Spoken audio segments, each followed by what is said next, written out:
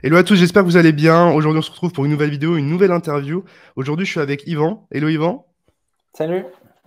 Comment vas-tu? Très bien, et toi? Bah écoute, ça va. On a un petit peu de volatilité sur le, sur le marché, donc on va, on va pas se plaindre.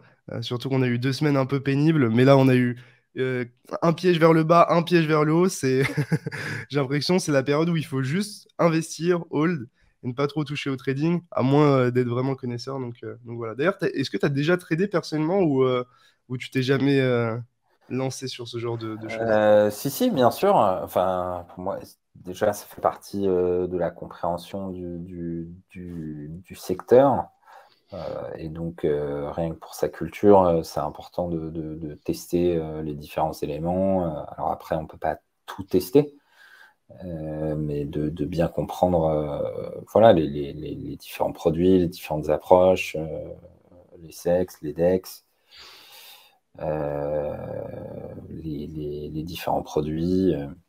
voilà. Est-ce que est-ce que c'est des produits institutionnels Est-ce que c'est des produits on-chain Donc ça fait partie de l'expérience. Et de la compréhension côté métier avec BPI, je suppose aussi. Je voulais rebondir là-dessus. Euh, donc, j'ai l'habitude à chaque fois que, que j'interviewe quelqu'un ici sur la chaîne, euh, évidemment de se présenter, mais juste avant de lui demander qui il aimerait voir sur la chaîne. Est-ce qu'il y a euh, quelqu'un que tu aimerais voir sur la chaîne qui n'a pas peut-être été interviewé dernièrement ici? C'est une bonne question. Euh... un coup de cœur ou quelqu'un qui t'intéresse pas mal bah, je pense que ce qui peut être intéressant, alors après, il y a plusieurs personnes qui peuvent en parler, mais c'est peut-être euh, un avocat euh, sur, euh, sur MICA, donc Marketing Crypto Assets, le règlement européen qui va entrer en, vigueur en janvier 2025, parce que ça permet quand même de voir en termes de régulation ce qui nous attend, et peut-être justement de faire un point un peu sur tous les éléments de régulation qui arrivent puisque euh, aujourd'hui c'est une réalité, c'est-à-dire que la liberté qu'on a pu avoir dans ce space va euh, se réduire, comme Internet, comme, ça fait partie des mouvements. Euh. alors après, il y a, des gens qui, qui luttent contre ça, et certains avec beaucoup de, de, légitimité. Hein. Là, ce n'est pas un jugement global, mais je pense que voilà, il y a des choses à à, voir. Euh, typiquement, euh, tu vois, il y a la huitième directive euh, côté fiscalité en Europe qui va arriver avec une harmonisation des cadres fiscaux. Les cryptos vont être sur la table. je sais que ça intéresse pas mal de gens à Lisbonne aussi de comprendre comment ça va évoluer. On a eu la loi influenceur aussi, donc ça, bouge pas mal à ce niveau-là, même en, même en France. Hein, en tout cas, c'est assez intéressant. Moi, j'y avais pensé justement euh, dernièrement. Euh, j'avais justement réfléchi hier à ce sujet-là, donc euh, je vois que tu es tout à fait synchronisé avec, avec l'interview et la chaîne. Peut-être pour les gens qui ne te connaissent pas, te présenter succinctement. Qui es-tu Âge, poids, pays, spécialité Qui es-tu? Bien sûr. Donc, moi, je suis Yvan Lastour. Je travaille chez BPI France. Je suis un peu plus un peu plus âgé, euh, j'ai 40 ans. Euh, moi, j'ai un parcours d'ingénieur en informatique. Donc, j'ai fait l'EPITA, une école, euh, une école de code. après, j'ai enchaîné avec deux masters de finance. Et donc, j'ai travaillé en finance qu'on appelle corporate finance. Donc, c'est plutôt tout ce qui est lié aux opérations d'investissement, de fusion-acquisition. ensuite, je suis allé en labo de recherche donc, j'ai travaillé sur euh, le big data et le machine learning euh, euh, quand peu de gens en parlaient. C'était en 2013. donc, j'étais ingénieur de recherche et développement. et puis, et à l'époque, je ne suis pas resté dans ce domaine parce que tout était lent, quoi. C'est-à-dire que le potentiel était visible, mais il n'y avait pas eu de, de chat GPT effect ou on savait que l'IA, ça marchait, mais euh, finalement, il fallait beaucoup de données. Hein. donc, c'était réservé à un certain nombre d'acteurs. Et deux, euh, rien que récupérer des données, bah, c'était compliqué. Aujourd'hui, les données sont plus ouvertes. Euh, donc après, j'ai eu plusieurs expériences. Je travaille dans une startup américaine qui s'appelle Momentive, mais qui s'appelait SurveyMonkey. Donc, pas mal, pas mal d'expérience à Silicon Valley. enfin, ça m'a permis de, de, mieux comprendre le, le game là-bas et le VC game. et je fais du conseil chez Deloitte. Là aussi, je rends hommage d'ailleurs quelqu'un que tu pourrais interviewer qui est excellent, c'est Rémi Foult, le trésorier d'Ethereum France. Donc, avec, qui, voilà, l'été 2015, on raidait sur des ICO. avec des, beaux moments comme l'ICO de Neo, des projets comme ça, enfin. des bons Début, ouais. ouais, ouais, euh, moi, j'ai raté le coche en 2013. Euh, à l'époque, en fait, euh, il y avait deux mecs de l'EPITA, donc Émilien Dutan et Adrien Lafumin, qui avaient monté la partie tech de Blockchain Partner. Blockchain Partner, c'était la fusion d'une partie conseil tech, l'idée par Émilien et, Adrien, et la partie conseil avec Alex, Claire, euh, Clément et Antoine. Et, euh, donc, je savais qu'il y avait des gens qui bossaient là-dessus. Il y avait pas mal de journalistes aussi qui en parlaient.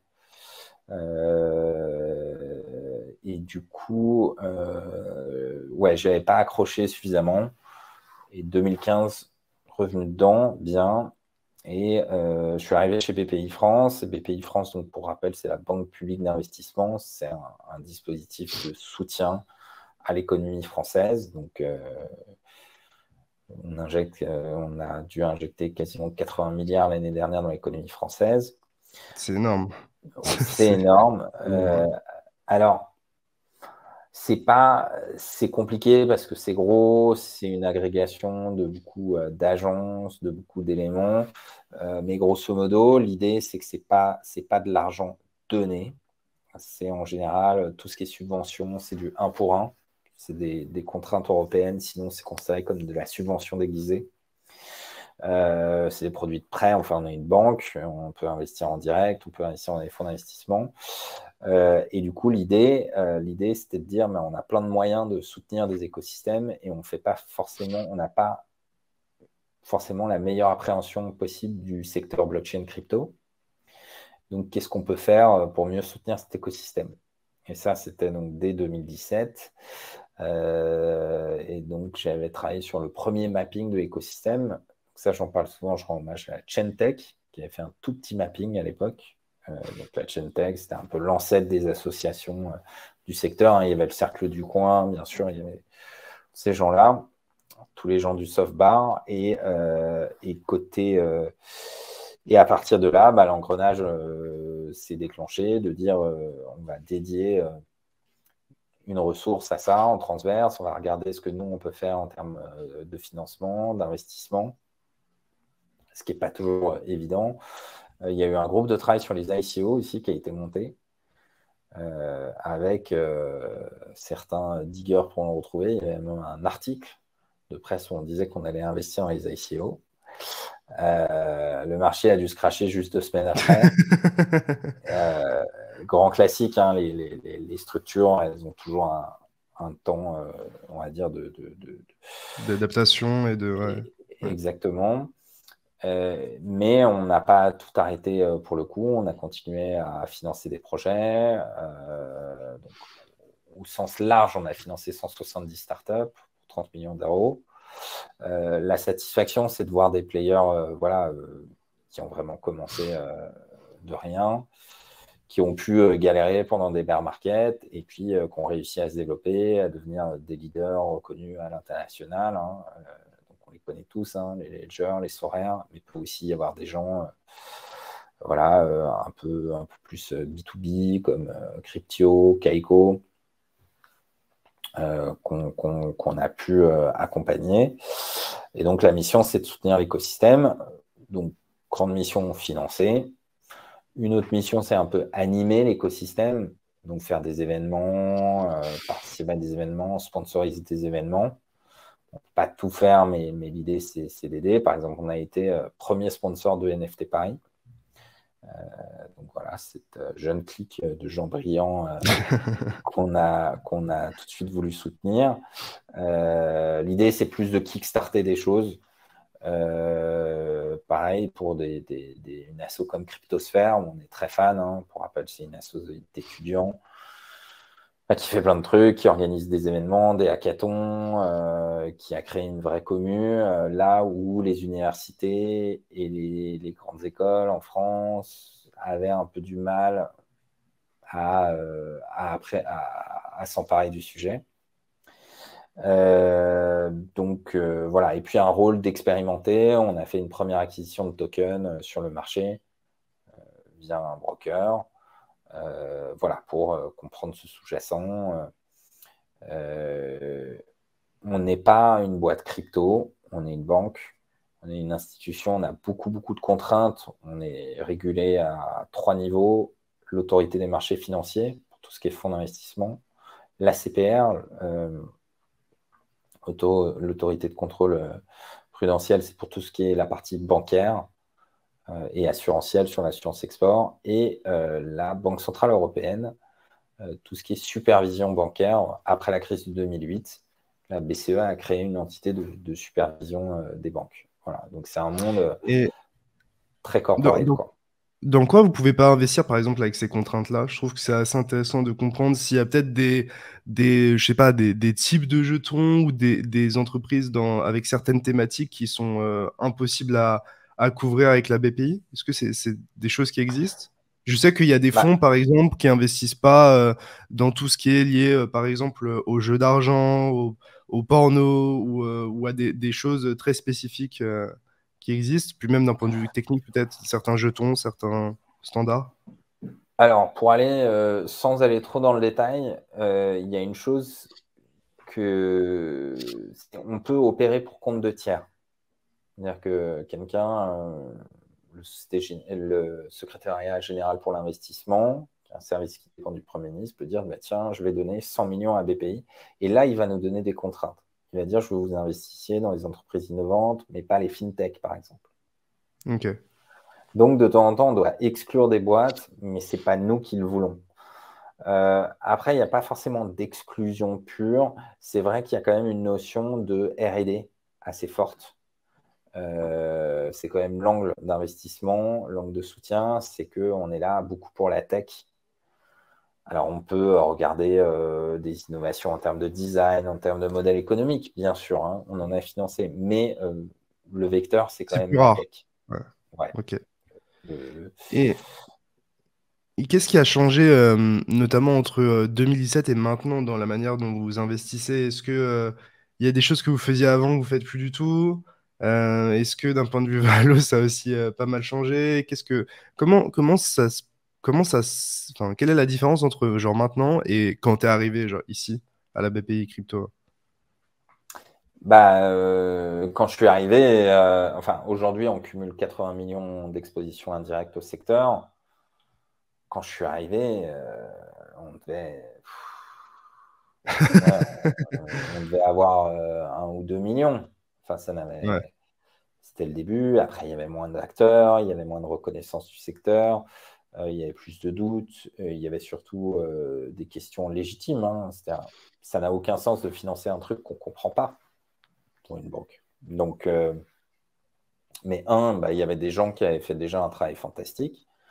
La première subvention de Ledger a été donnée fin 2014, hein, euh, c'était quelqu'un qui avait bossé sur le dossier, qui avait compris euh, l'intérêt.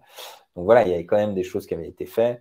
Il y avait aussi euh, Céline Pazdouet qui a fait un gros travail, qui aujourd'hui est chez Elia Partners, donc un, fonds d'investissement qui avait soutenu plusieurs projets et qui comprenait très bien. Donc il y avait des choses. C'est juste que ce n'était pas forcément structuré. il n'y avait pas forcément de stratégie, de visibilité très claire. Euh, mais on avait tous les éléments pour. C'était ça la bonne nouvelle. Quoi. Euh, et pour, pour, comprendre un petit peu, euh, aujourd'hui, par exemple, quand, quand, vous subventionnez ou vous participez à des levées de fonds en soi, comment dire, à, quel point vous êtes en concurrence, par exemple, avec des VC US ou, ou genre des VC européens, etc. Est-ce que vous n'êtes pas du tout en concurrence et vous aidez, par exemple, que les, que les entreprises françaises? Et, euh, euh, en général elles viennent vous voir naturellement ou est-ce que parfois euh, il y a, cette tu vois, cette compétition par rapport à d'autres VC de euh, genre, nous, faut qu'on soit attrayant pour qu'on soit dans le deal et qu'on soit inclus dans le round ou ce genre de choses, tu vois. qu'est-ce qui, qu'est-ce qui change, par exemple, d'un VC traditionnel sur ces, sur ces points-là? Alors, ça, c'est le moment où, je vais me prononcer à titre plus personnel que, que au titre de, BPI France. en fait, le, c'est ce qu'on appelle le VC game. C'est-à-dire que euh, les VC, leur boulot, c'est de rendre de l'argent à ce qu'on appelle des LP, des limited partners. Limited partner donne de l'argent à un VC euh, et il attend un retour sur investissement. Euh, le VC, lui, ce qu'il faut, c'est qu'il trouve des boîtes qui vont créer de la valeur, comme il dit, qui vont rapporter de l'argent. Donc, c'est l'idée d'une boîte dont la valorisation va augmenter et à un moment qui va rapporter du cash. Donc, ça veut dire qu'elle est rachetée soit par un industriel du secteur, soit qu'elle sort en bourse. Donc, le VC, son métier, c'est de faire de, de, faire de l'argent. C'est un fonds d'investissement. Maintenant, le sous-jacent sur lequel il travaille est très intéressant, puisque c'est une entreprise, c'est une start-up, donc il y a un actif technologique, il y a une équipe, il y a une roadmap, il y a. Euh, et donc, euh, dans ce secteur, il y a une compétition pour les meilleures boîtes qui montrent un potentiel de création de valeur, il va y avoir une compétition. Et euh, bah, ces, actifs vont intéresser tout le monde. Des VC français, des VC étrangers. Euh, et puis, on a même vu à un moment, au moment du, du, bull market, euh, des VC non crypto s'intéresser à la crypto. Quoi. Mm. Donc, donc, la compétition, elle est là. C'est-à-dire que maintenant, comme dans tout, on peut avoir un positionnement différenciant on peut se positionner, par exemple, ça, quelqu'un de très bien que, je recommande chaudement, euh, Sébastien Couture euh, d'Interop Ventures. Euh, lui, il s'est dit, il s'est positionné sur l'écosystème Cosmos. Donc, ça te donne un avantage, c'est que, un, bah, les gens qui travaillent sur cet écosystème, ils viennent te voir naturellement. Et deux, toi, tu vas pouvoir bien évaluer dans l'écosystème qui est qui. Euh, voilà, mais ça réduit ton nombre de dossiers potentiels euh, par rapport à un VC euh, plus généraliste. Et donc, maintenant, ce qui a changé aussi, c'est qu'autant la première génération de fonds, hein, alors je ne sais pas, premier fonds officiellement, c'est Blockchain Capital. Enfin, il devait y avoir le fonds de Pantera, mais ce n'était pas un fonds de VC, c'était un fonds plus hedge fund Bitcoin. Euh, voilà, c'est 2013, 2014. Euh, Ces fonds-là ont montré des retours impressionnants euh, lors du bull run de 2017. Et là a émergé une seconde génération de fonds. et d'une certaine façon, il est ni trop tôt ni trop tard pour faire un fonds crypto. Quoi. Ce qui est sûr, mm. c'est qu'il faut se différencier. Et il faut de la crédibilité dans ce secteur. Euh, parce qu'aujourd'hui, oui, il y a une compétition. C'est-à-dire qu'il y a un très bon dossier. Donc, c'est le cas de plusieurs sociétés françaises qui ont pu lever avec Andreessen Horowitz, donc la partie crypto. Là, il y a une forte compétition. Et, après, euh, c'est l'entrepreneur qui choisit. C'est-à-dire que, bien sûr, qu'il y a des fonds français dans les tours avec Andreessen Horowitz. Pourquoi ils sont là? Bah, Parce que l'entrepreneur euh, considère qu'ils apportent beaucoup de valeur, parce qu'ils étaient là peut-être plus tôt, parce qu'ils ont pu mettre un ticket en tant que en perso, en business angel tout en début. Tu vois, c'est une question de confiance, quoi.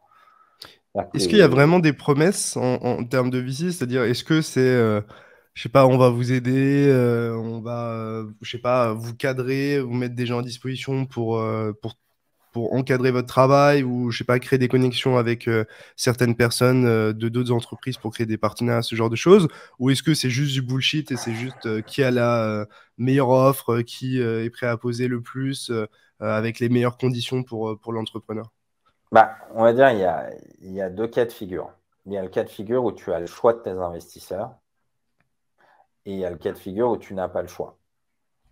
Donc, on va prendre le, bon cas de le meilleur cas de figure tu es lucky, tu as le choix de tes investisseurs. Bah là, euh, c'est comme dans tout. Quoi. Si tu as le choix, euh, bah, tu maximises, euh, tu vérifies, tu vas faire des calls, demander à des anciens entrepreneurs, est-ce qu'il t'a vraiment aidé ce fonds Est-ce qu'il t'a fait des bonnes intros Est-ce qu'il t'a permis de signer des, deals Est-ce que est-ce qu'il a des techs dans ses équipes tu vois, qui peuvent t'aider mm-hmm. Est-ce qu'il a accès à la team Polygon Toutes ces questions, quoi.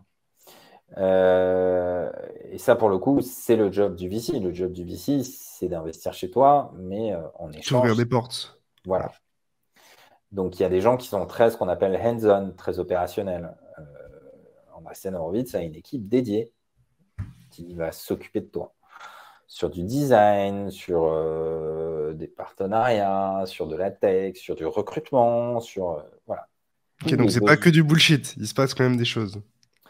Bah, c'est pas pour faire de la pub pour scène Horowitz, mais oui, ils ont une équipe dédiée. Maintenant, il faut savoir comment marcher un fonds. Euh, il va avoir un, fonds d'investissement, donc c'est un, certain montant. Si par exemple tu as 100 millions et que tu as investi 20 millions sur une entreprise, bah, tu vas passer plus de temps avec elle que sur la ligne à 500 000 euros. Et c'est là, en fait, où il faut bien comprendre. C'est-à-dire que il y a des gens qui disent Ouais, les VC ne nous aident pas assez, mais il faut se mettre à la place du VC. Si le VC il a 300 lignes à suivre et que tu es sa plus petite ligne, bah, il, va moins, il va passer moins de temps. C'est comme ça. Donc il y a des équilibres. Il faut bien comprendre dans le VC game qu'est-ce qu'on va représenter pour le fond. Et puis il y a des fonds. Ouais. C'était assez intéressant, juste pour rebondir euh, là-dessus. Tu disais que, bah, en gros, en général, plus euh, Enfin, plus il est exposé à toi par rapport à son capital, plus il va avoir tendance à passer de temps avec toi. Mais aujourd'hui, est-ce qu'un VC, par exemple, je prends un, domaine euh, spécifique, je sais pas, les oracles, style euh, Chainlink, etc., euh, est-ce que le VC va avoir tendance à, je sais pas, investir euh, souvent genre sur beaucoup d'acteurs dans ce secteur-là, ou est-ce que souvent il va juste piquer un leader et genre euh, all-in dessus? Il va, il va plus avoir tendance à, se diversifier, je suppose, mais comment tu fais en termes de temps pour mettre le même temps sur tous ces acteurs pour, pour avoir le leader final C'est hard. Alors ça, il y a tout. Il y a de tout. Il y a des VC qui disent non, on pique un champion par thématique. Donc, par exemple, on va prendre euh, une layer 2 euh, sur laquelle on va beaucoup miser. C'est le cas de euh, quel VC, par exemple, si tu en as en tête bah... C'est plutôt rare? Non, c'est un comportement assez classique. Tu vois Si, je ne ferai pas trop de name dropping, mais c'est plus pour donner les typologies de VC. Et ça, bah, suffit de regarder le portefeuille. C'est-à-dire si la personne a des concurrents, ça veut dire qu'elle est ouverte au sujet. Ce qui est le cas d'Andreessen Horowitz, par exemple.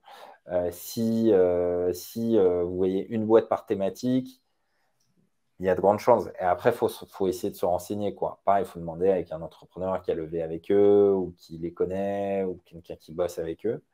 Hmm. donc ça, c'est le premier cas. Après, en effet, il peut y avoir des VC spécialisés.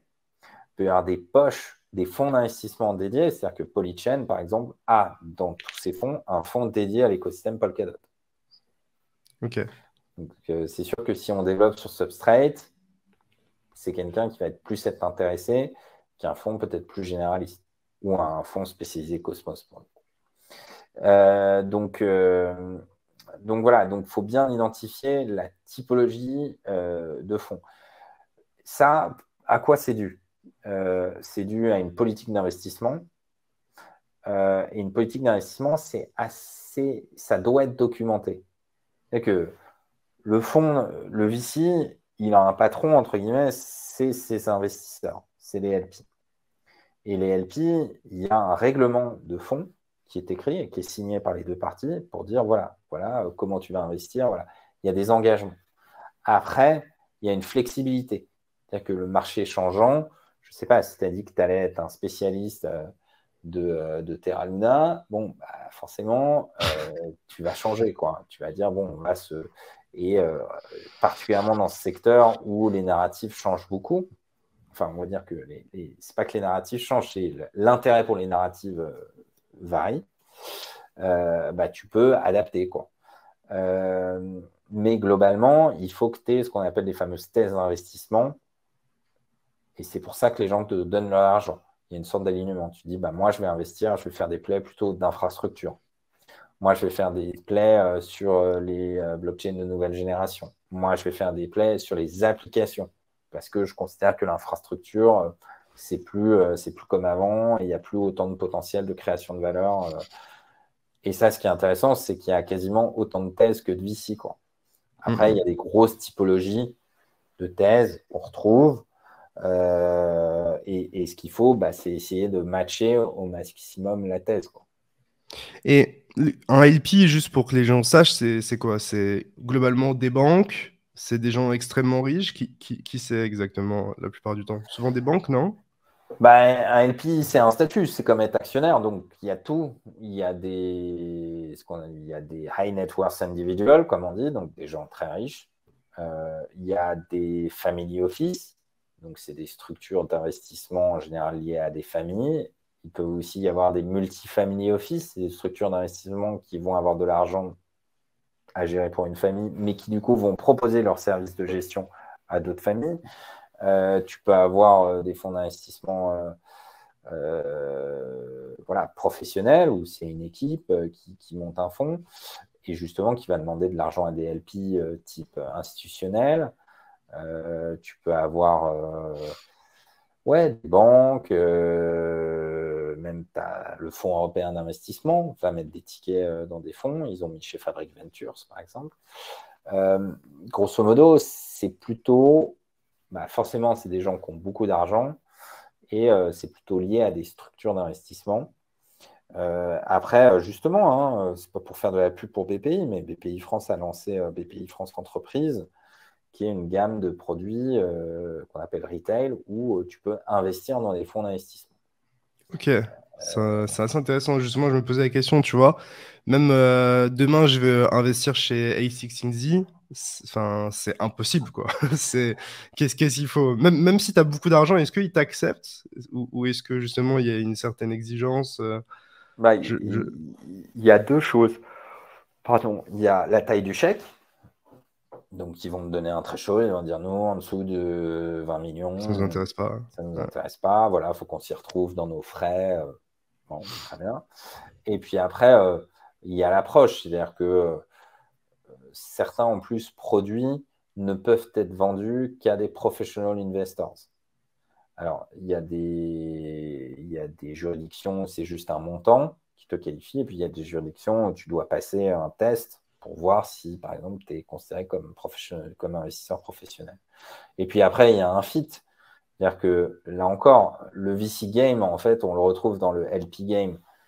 Euh, un fonds d'investissement, alors, un truc très intéressant, c'est qu'un fonds d'investissement, ça tourne en fait comment? Ça tourne par rapport à des frais de gestion et un cut sur la performance, qu'on appelle le carry interest.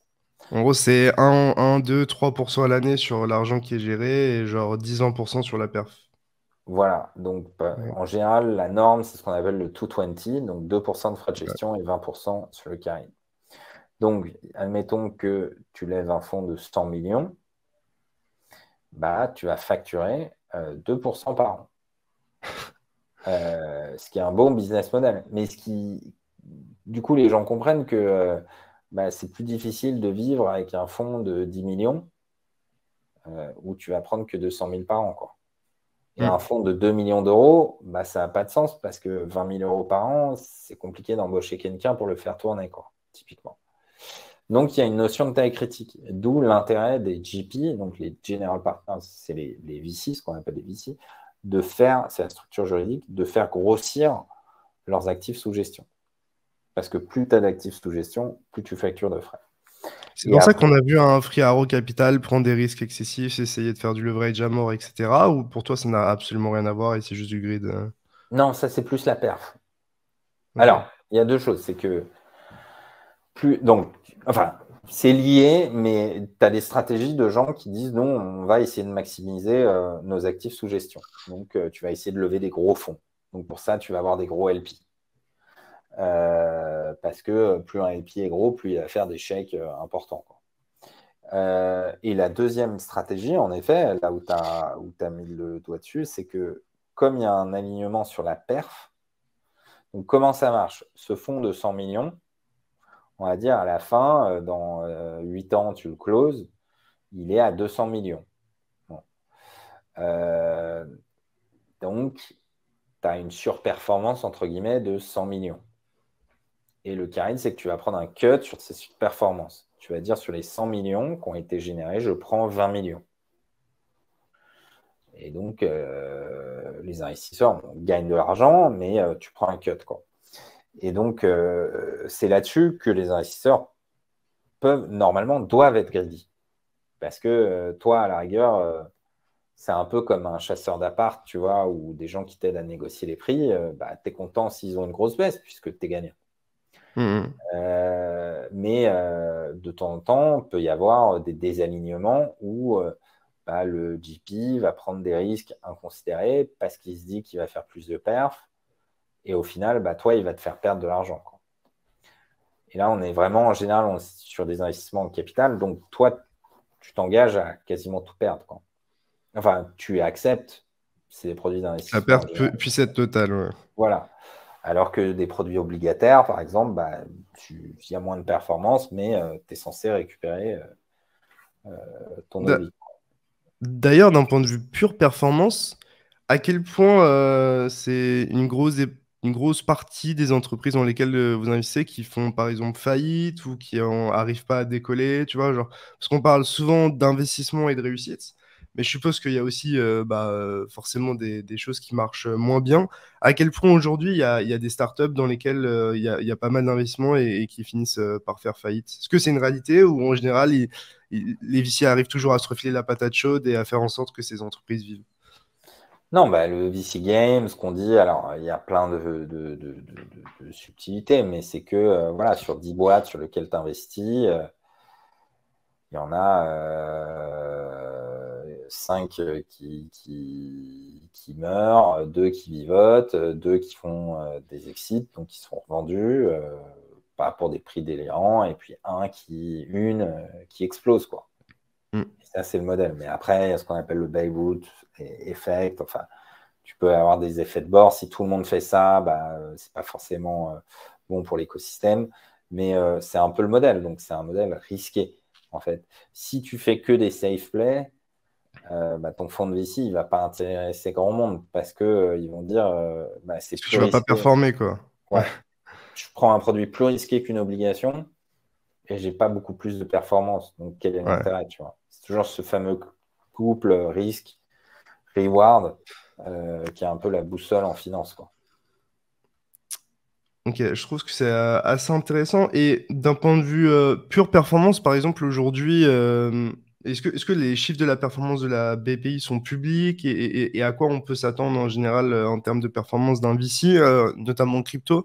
Je suppose que les performances varient aussi beaucoup en fonction euh, de la taille du fonds? Ou, est-ce que c'est absolument pas corrélé?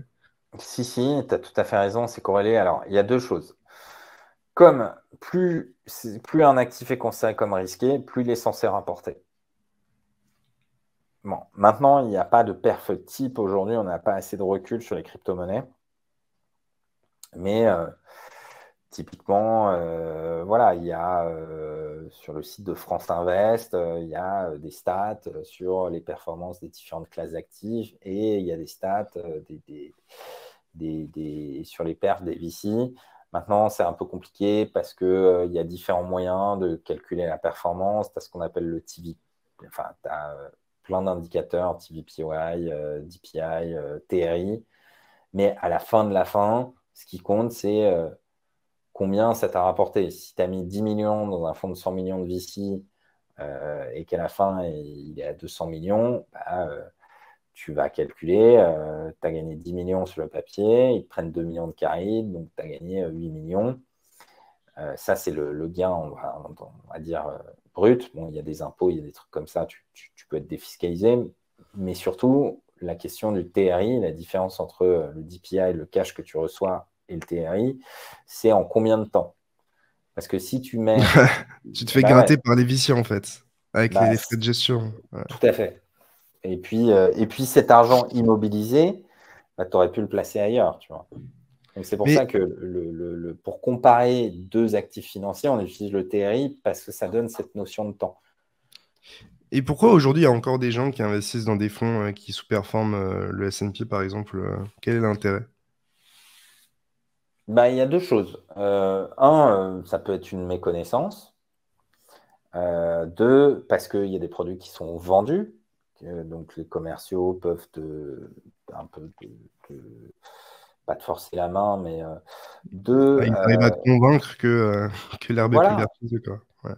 Deux, c'est une prise de risque. C'est-à-dire que bah, un tracker sur le CAC, il ne va pas surperformer le CAC.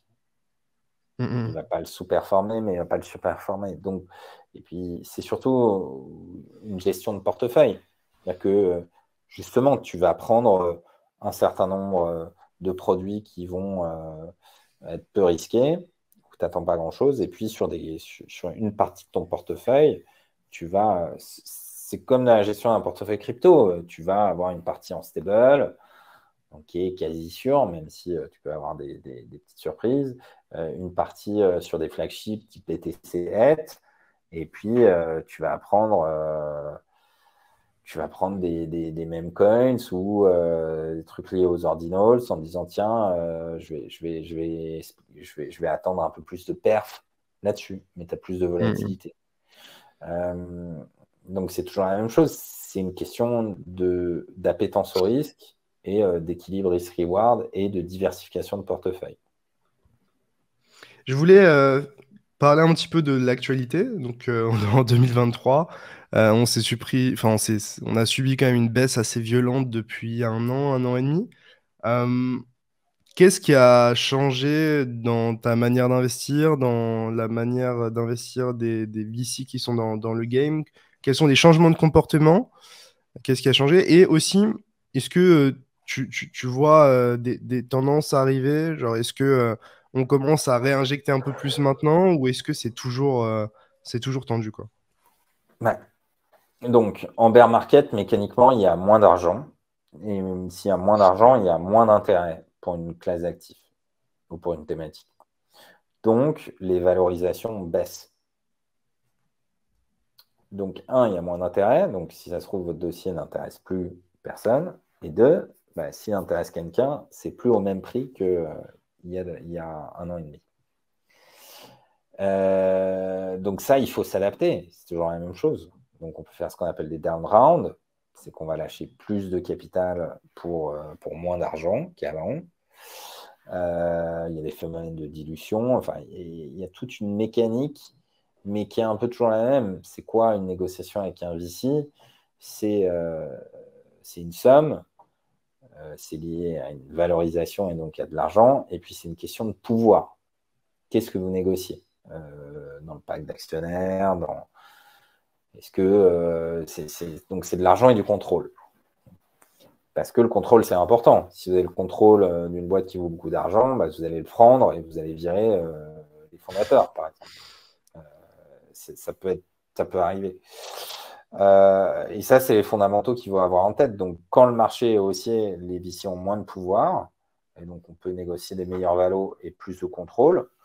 Et, euh, la réciproque est vraie euh, de l'autre côté. Donc, en ce moment, un fondateur, il va avoir plus de mal à lever, il va devoir lâcher plus de choses.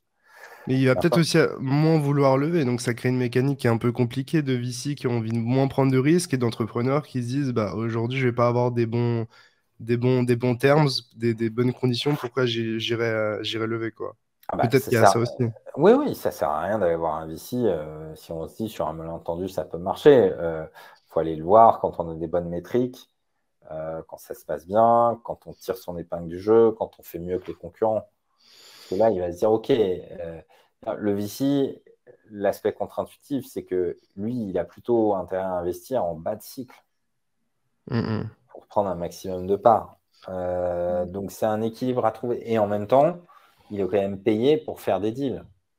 Mais est-ce que au final, euh, il y a moins de VC qui investissent, euh, enfin, qui investissent par ces temps parce que aussi peut-être que les LP leur donnent moins de cash et qui sont déjà assez exposés et qui peuvent pas exit. Du ah, coup, en gros, ils ont moins de liquidités à injecter parce que en gros, euh, leur papa veut pas leur filer de l'argent et qu'en gros ils ont déjà acheté tout ce qu'ils voulaient acheter Comment Est-ce bah, qu'il y a aussi de ça? Les deux, mon capitaine, tu as tout. Tu as euh, des VC qui ont levé un fonds 1, par exemple de, je sais pas, 40 millions, qui a été déployé à 85%, Et donc, en général, tu gardes, dans le VC, tu gardes une partie de l'argent pour faire ce qu'on appelle des follow, des, des follow and round. C'est que si une boîte marche bien, tu vas essayer de remettre de l'argent pour. Pour pas te faire diluer. Exactement, et, voir pour prendre encore plus de capital. Donc, de toute façon, euh, tu vas jamais investir un fonds à 100% dès le début. Euh, tu vois, il euh, faut que tu gardes un peu de, de, de grain à moudre. Si aujourd'hui, tu as déployé un fonds à 85%, et que tu veux lever ton fonds 2 et que les conditions de marché ne sont pas bonnes, bah ouais, là, tu es obligé de ralentir. Tu n'as pas d'argent vraiment pour investir. Mais tu ne vas pas le dire aux gens, parce que sinon, tu, les gens ne vont pas venir te voir, tu vois. Donc, il y a mmh. aussi une bonne compréhension. Il faut bien comprendre le calendrier de où en est le VC dans son cycle par rapport au LP. Et c'est pareil pour les LP. Aujourd'hui, quand tu es LP, bah, tu as plutôt le vent en poupe. Il y a des VC euh, qui avant euh, levaient des fonds en deux mois. Aujourd'hui, bah, ils vont t'écouter. Alors qu'avant, ils avaient tellement de gens qui investissaient qui disaient écoute, il n'y a plus de place. Quoi. Donc voilà, c'est un, un, équilibre. Il faut bien comprendre où est-ce qu'on est dans le cycle et justement aller voir les VC au bon moment du cycle. Donc là, euh, c'est, en fait c'est une pyramide qui s'inverse en fonction de, du cycle, quoi. Exactement. Euh, donc il y a des gens en position de force et d'autres en position de faiblesse. Euh, maintenant, c'est pas pour ça que ça sert à rien d'aller voir un VC. Si vous avez un très bon dossier, entre guillemets, euh, la boîte marche bien, il y a une bonne traction. je pense à des boîtes comme comme Zilli, là, euh, Crew 3, anciennement Crew 3, euh, les chiffres sont Des Français, ouais, j'ai vu. Ouais, ça se passe bien. Bon, bah là, il n'y a aucun problème pour aller voir un VC. Euh, et ça peut l'intéresser. Les investissements vont continuer. C'est juste que le nombre d'investissements et les valorisations diminuent. D'un point de vue narratif, est-ce que tout le monde investit dans les mêmes narratives Globalement, euh, les layers 2, les layers 3, le fait que Ethereum a gagné, donc on va pas essayer de bet sur des layer 1, mais plutôt euh, bet sur des solutions de, scaling euh, layer 2, layer 3. Peut-être des narratives autour de l'IA ou d'autres choses. Qu'est-ce que tu vois de ton côté? Est-ce que tout le monde comment dire, s'accorde sur, sur une direction ou est-ce qu'au final, il y a, y a, plusieurs thématiques intéressantes? Alors, c'est une très bonne question. Le, Je crois qu'il y a ton micro qui frotte si je me. Ah, pardon. Euh, c'est une très bonne question. Le... Bah, les narratives, en fait, euh, personne n'est d'accord à 100%. Il y a des consensus sur, euh, sur par exemple, l'intérêt des roll-up. Bon. Maintenant, voilà, il y a autant de fonds que d'avis. Il y a des fonds qui vont dire, moi, je mise tout sur les roll-up. Et il y a d'autres fonds qui vont dire, non, les roll-up, ça n'a pas d'intérêt. Moi, je mise sur les next-gen blockchains qui ont des tailles de blocs plus importantes ou qui ont la capacité de sharder. Donc, qui vont finalement valider différents blocs avec différentes intensités. Euh, il y aura, euh, entre guillemets, des, des layers 2, mais pour des applications euh, spécifiques ou, ou, un shard pour le gaming, tu vois. et ça, c'est des débats éternels. Et là aussi, c'est cyclique. À un moment, on s'est quand même dit, enfin, moi je me souviens de développeurs aux US qui me disaient, mec, Solana, j'ai pas installé voilà, une layer 1, une layer 2, bridger, c'est compliqué. Solana, je développe sur un truc, ça ship, et finalement, c'est la même user experience, quel que soit le, niveau de layer, et, et ça scale, quoi. Donc ça, c'est des débats qui vont revenir. En effet, aujourd'hui, euh, il y a des tendances fortes. Ethereum, euh, enfin, la war est continue, hein, est terminée. Euh, enfin, il faut s'en souvenir quand même, mais à la grande époque, Ethereum a bribé donc à 20% sur Encore. Justin Sun voulait sortir son stablecoin. Je pense qu'il avait bribé à 25%. Binance était en embuscade. Et là, il y avait des vrais doutes sur euh, ce côté euh, clear pass, clear winner d'Ethereum. Euh, le merge n'était pas encore arrivé, mettait un peu de temps. Là, un, la bribe war est terminée, donc il y a plein de modèles qui, se sont écroulés. Deux, Ethereum, le merge s'est très bien passé. Il n'y a pas eu de, de, fuite des Ethers, enfin de vente massive. Donc oui, on entre sur des narratives où, il y a des consensus. Maintenant, là encore, si on suit ce que tout le monde dit, bah, on fait moins de perf que si on prend des risques. Mm, mm, mm. Euh, donc c'est des équilibres à trouver. Euh, après, c'est pas pour ça qu'on peut pas gagner d'argent. C'est-à-dire quand, quand la narrative gaming a explosé, grosso modo, quand Axie a commencé à monter. Bah ouais, si on avait investi dans le site d'Axi, on était content. Si on investissait chez Axi juste au moment où ça montait, bah on est content. Si on investit au top de la hype et que ça s'écroule, bah c'est là où on a fait une erreur. On a investi au mauvais moment, en fait. Euh, et on s'est tous un peu laissé aveugler par le gaming à un moment, quoi, en se disant euh, suffit qu'il y ait un Candy Crush euh, crypto pour que tout le monde y joue, que tout le monde utilise la crypto. Voilà, il y avait plein de narratifs qui étaient valables. Une narrative, c'est un chemin. ce qu'il faut, c'est le pondérer, en fait. Moi, je ne dis pas que telle narrative a gagné, je dis juste, bah, il y a X% de chance, entre guillemets, qu'Ethereum soit le clear winner il y a X% de hmm. chances que. Genre, c'est l'espérance de gain, en fait, au final. C'est ce que tu risques et le, win rate que tu peux avoir, un peu comme en trading. Hmm. Exactement. Et donc, tu places des bêtes. si vraiment tu es très discipliné, tu fais des chemins critiques, en fait. Tu dis, OK, la passe to scalability, elle passe soit justement sur, euh, sur euh, des modular chain, sur du sharding, sur, euh, sur un pass Ethereum is the clear winner. Enfin, et tu fais des stats et tu places tes bêtes. Et en fonction de ça, tu as une vraie vision de, de, où est-ce que tu en es. si tu suis toujours les derniers bêtes à la mode, en général, tu n'es pas gagnant. Ouais, tu arrives trop tard au final. voilà. Sachant qu'attention, sur le VC, tu es sur un actif qui est peu liquide. Alors, il y a des VC qui ont des expositions token, mais quand sur de l'equity, c'est que. l'equity, c'est ultra illiquide. En fait, tu as besoin qu'il y ait d'autres personnes qui veulent investir dans l'entreprise pour pouvoir euh, sortir. En fait, c'est un événement de liquidité en soi. Et en gros, tu peux pas, en tant que VC, sortir tant que tu n'as pas des personnes qui investissent dans l'entreprise, de ce que je comprends. Exactement, ouais. Donc, c'est un enfer. Euh, ok, bien compris. Et du coup, quels sont les narratifs qui sont pas ultra tendance et dans lesquels tu as, des espoirs personnellement, évidemment, dans ce que tu peux dire, de ce que, de ce tu peux pas dire, mais. Euh, bah, en fait, typiquement, aujourd'hui, on va prendre la narrative métaverse qui a hypé à mort et qui a crash. Là, le 5 juin, il y a Apple qui va sortir son casque. C'est un bête. C'est annoncé publiquement, tout le monde le sait, ça, du coup? On pense, on verra. Bah, un, s'il ne le sort pas, euh, c'est un peu ballot. S'il le sort, que euh, tu investis maintenant dans des projets qui vont euh, shipper des produits sur l'App Store, Metaverse, machin, que il y a une crypto qui cartonne, bah, tu peux. c'est une narrative qui est valable. Quoi. Mais tout le reste, c'est que le Metaverse bah, n'a pas tenu ses promesses, qu'il y a plein, de problèmes tech. Euh, donc, c'est ça, en fait, c'est sentir. C'est-à-dire que ça, euh, Nicolas Deboc le dit très bien, c'est un VC euh, très connu de Razeo. c'est que, en fait, en VC, il ne faut pas avoir raison trop tôt. Peux avoir raison, raison sur les fondamentaux, dire la scalabilité des blockchains, c'est le next truc. Mais en fait, si tu si investis sur une boîte trop tôt, bah, tu ne gagnes pas d'argent. En fait, le but, c'est d'être vraiment au moment de la hype. Parce que cette boîte-là, elle sera morte en fait et ce ne sera pas le winner final. Ça que tu bah veux dire. Alors après, c'est pas pour ça que tu gagnes pas d'argent. Elle peut être rachetée parce qu'elle a des actifs tech intéressants. Et, le vrai but du VC, en revanche, c'est de trouver un clear winner. C'est euh, bah, le winner takes all. C'est-à-dire que quand tu as investi dans Airbnb, bah, voilà, il n'y a pas vraiment de concurrent. Airbnb a pris un leadership de dingue. Airbnb a fait une introduction en bourse parce que tout le monde a envie d'avoir des actions Airbnb.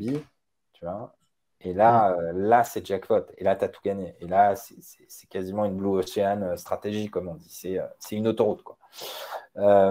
donc, non, aujourd'hui, des narratives, bah, par exemple, moi, j'aime beaucoup la science décentralisée. Je pense que c'est une narrative qui va progresser. Mais c'est très tôt aujourd'hui. Ok.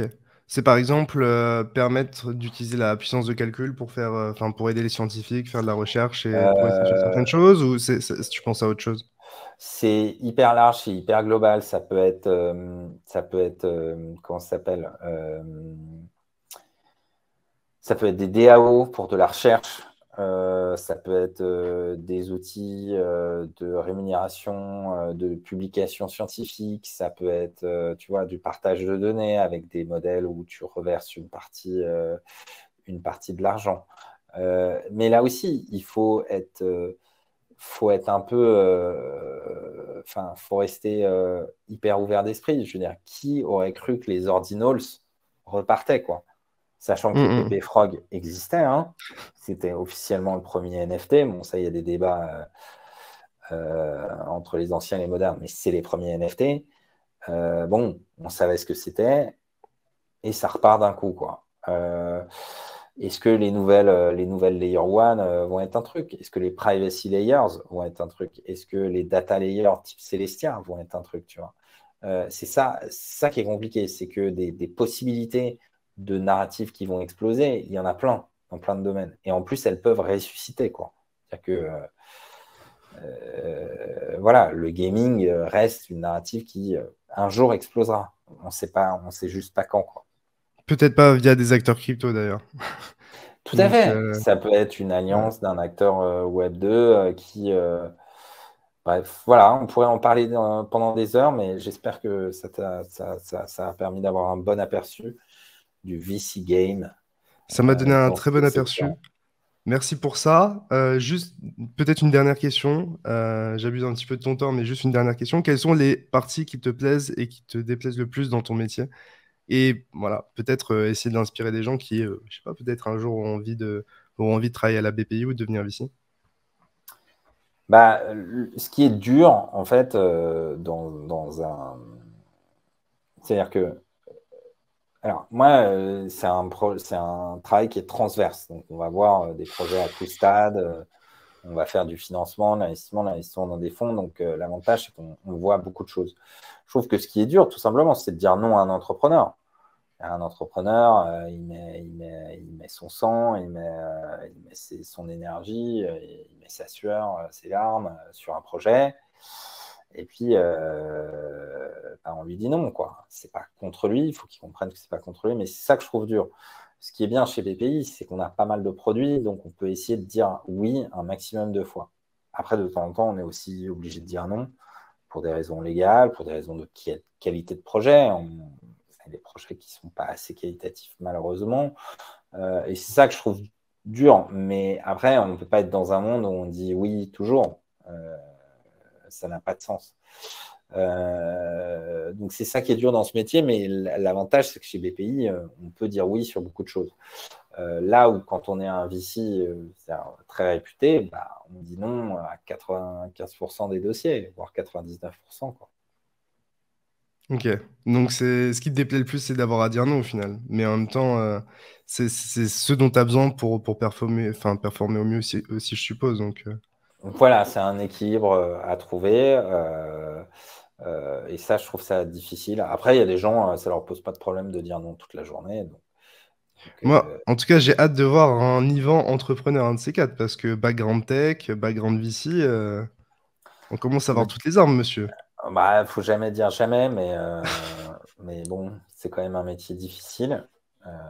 c'est le métier le plus difficile, hein, le métier d'entrepreneur. Il n'y a pas de, il n'y a pas de roadmap. Il euh, n'y a pas de profil type, ça qui est hyper intéressant. Pour être comptable, par exemple, il faut mieux être structuré et aimer les chiffres. Pour être entrepreneur, il n'y a pas de profil type. En revanche, ouais, c'est ce qui est le plus difficile. Donc, euh, on verra, mais il ne faut jamais dire jamais. En tout cas, merci. Euh, merci beaucoup pour ton temps. Merci beaucoup d'avoir aussi accepté l'invitation aussi rapidement. Désolé d'avoir pris pas mal de temps, mais je voulais couvrir plein de sujets qui, je pense, intéressent les gens et qui sont pas forcément, tu vois, discutés en, en crypto, on, parle rarement des LP, des mécanismes de financement des, VC et, tous ces cycles-là. Donc, euh, merci d'avoir pris le temps de, répondre à toutes ces questions. Euh, on se retrouve très vite pour une nouvelle vidéo. Merci à toi. Euh, c'était Pixou, c'était Yvan. Tchuss. Merci, ciao.